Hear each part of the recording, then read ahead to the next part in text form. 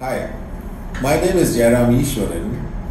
I have been a golfer for the last 20 years, and golf, as you know, has given me a lot of pleasure, but yes, it's given me its share of pain. A few years ago, I had acute pain in my left knee, and I was very worried that my golfing days are over. Till someone met me and told me about Vardan. So then I came over to Vardan and I met Tanu. Hi. So, how is your knee pain now?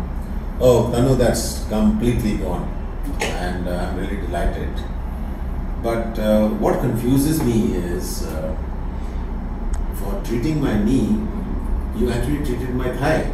Yes. See, prior to coming here, wherever I went, they applied gadgets and machines on my knee, and of course, it didn't provide too much relief. That's why I came here.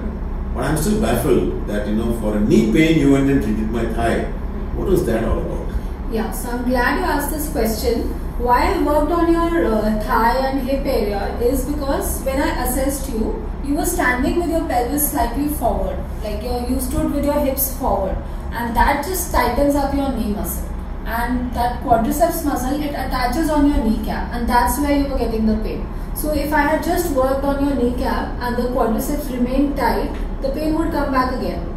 So I had to treat the source of your pain, which was your hip joint, correct that mechanics so that it eases out pressure on your kneecap. But uh, I think that's quite clear to me. But tell me one thing: uh, Does uh, Vardan never use any machines? No, no, no. We don't use any Why? machines because uh, machines definitely they help. I'm not saying machines don't help. They help only in the initial stage, like maybe first four five days to reduce some pain. But they the machines are put on the area where you have pain. So again, it doesn't treat the source of your problem. it's Alright. just like having a painkiller or just using an ice pack on the pain. It's like that. Okay. So if your knee is doing well, then what brings you here today? Yeah, same golfing. Okay. I developed some pain in the shoulder. You know, when I'm taking a swing, uh, when I'm finishing my swing, uh, the, I get a pain here because of which I can't finish the swing completely, and then the ball goes all over.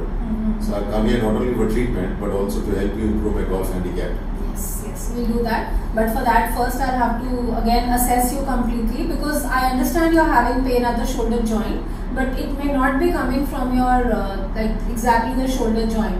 Uh, it may be because of the way you are reading a book, using your phone, how you are using your golf club, lifting your uh, briefcase.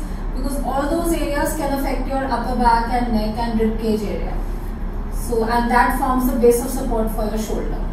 Well, um, I, I remember every time I've come to you, you you know told me improve my posture, and uh, I never believed that posture. But then, uh, does it mean that non-golfers also with bad posture do have pain? Yes, of course. So a lot of people have uh, these musculoskeletal issues, and most of the times the reason is a faulty posture. In your daily activities, if your posture is not correct, you are straining the wrong muscles, and hence you end up with pain. Well, that's very sad because no one taught us about postures even in school. Yeah, I think in fact it should we should start Yeah. learning these things right in school. I'm glad I came here. So tell me when do we start?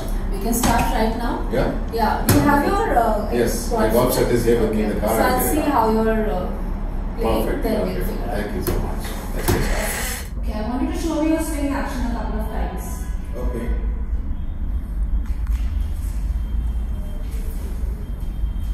Now this time I want you to stop when you are at backswing. Okay? Yeah. Okay, stop here.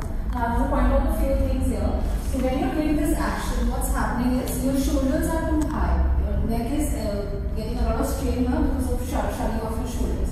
So you need to let this relax. And as you relax, the whole body has to relax. Because if you're not bearing the weight on your feet and your stomach is not loose, you are going to tense up back again here. Okay? So So I want yes, I want you to keep your weight on your feet, stomach relaxed, shoulders relaxed. Okay? And then when you start coming to a downswing, I want you to shift your weight properly to this side. Okay? Try it now. Yeah, looks better. Try it again,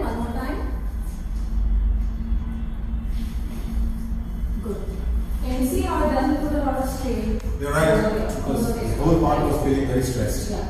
So, and there's one more thing that I want to point out. Can you go back into position once again? and stop there at back swing. Just stop here. So since you already had a knee issue, and as you know, Vaidyanathan, your media needs to point the ball, but it creates a lot of torsion on your knee joint because there is a rotation happening on your thigh. Right. So to avoid the strain coming on the inner side of the knee, I want you to, when you're coming to downswing, shift the weight completely and as you're shifting feel that you're also engaging your stomach muscles to do that. Okay, so it's not just your arm that is leading the movement, it's the weight shift from your feet and your core engagement. Try it a few times. Got it. Feels much better. Yeah. So now that you checked my swing, uh, you identified right where the Yes, problem is.